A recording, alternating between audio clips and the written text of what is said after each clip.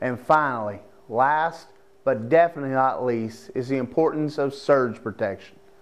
Not only do we recommend to install surge protection on the generator panel, but also make sure to ask your installer to install whole house surge protection on your home's main electrical panel as well.